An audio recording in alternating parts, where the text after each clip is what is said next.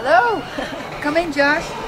Hi, I'm Sharon from Within Temptation, and this is our beautiful crib on wheels. Well, most of the day uh, we're actually in the venue because most venues we're playing at they're pretty cool actually. Also inside, really uh, very comfortable to be at. Um, after the show, we of course come back here and it's like our daily backstage. Just chilling out, uh, watching some movies on television. We have all kinds of uh, well audio equipment over there, uh, even very old-fashioned ones. Yeah, there's even a cassette deck.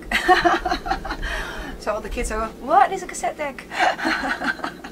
it's very, very historical instruments. Yeah, well, uh, equipment, I must say. Well, we got the food, which is very important, of course. You can't um, can't be without it, especially the the fruit and everything. The day sheets when we get have to get in, how late the lunch is and stuff like that.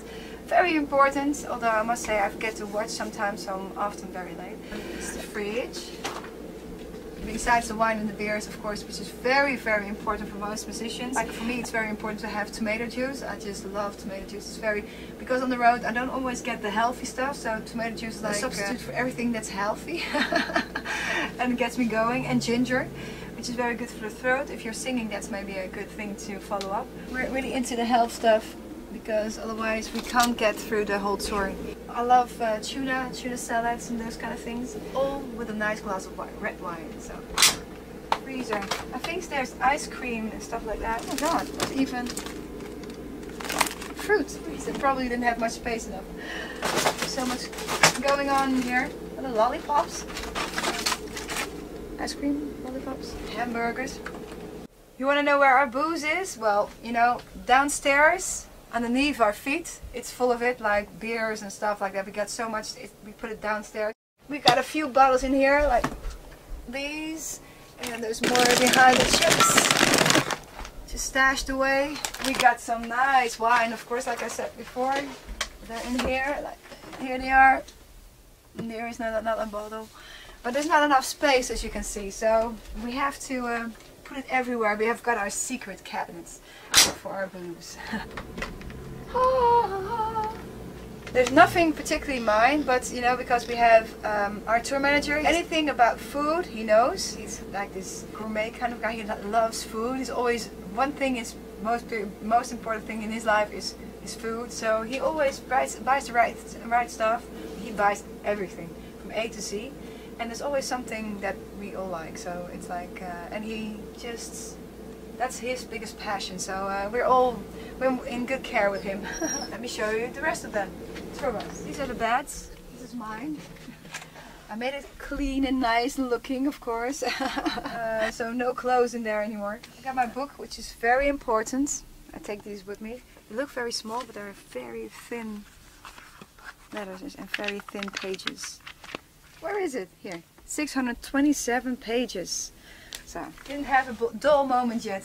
This is the second part of the lounge. Uh, the second lounge actually. We have another television, another another audio set, a lot of stuff stuff underneath because you know there's not enough space for everybody. And clothes are mostly going into here. It's now empty because they're all in the venue probably mostly.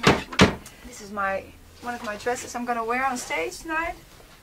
Already got it out. That's my passion actually. Beautiful clothes, especially for stage. They're very important. My Dr. Martens. Got a lot of them. I think at least 24 pairs. Different colors, sizes, everything.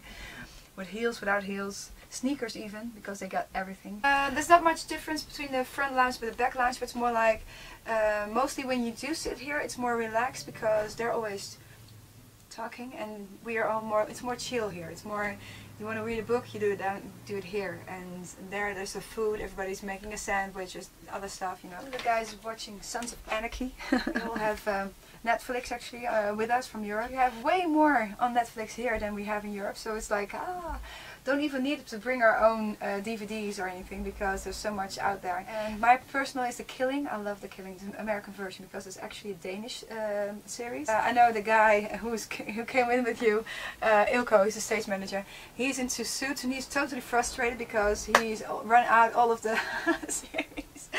So he's like, what am I going to do next? I don't have a life. we go through the day and um, talk about things that we uh, saw in the streets and people we met, um, fans we've spoken to. and uh, just have a great time actually here in America. It's it's a different way of traveling because distances are, way longer for us.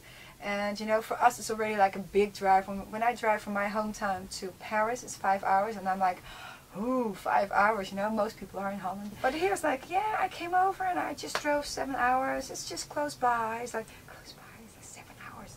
Yeah, okay, not that close by, but still it's not very far. And it's like, what? But it's pretty cool. I think it's really awesome that you guys drive all the way to see us, so that's... Um, a big compliment to us. Well, thank you for checking out our tour bus and uh, maybe see you on the road. We still have some shows to do. If you want to know more about us, check our website www.within-temptation.com and we've got all kinds of social media like Instagram, Twitter. We're out there, so check us out. See you later. Cheerio.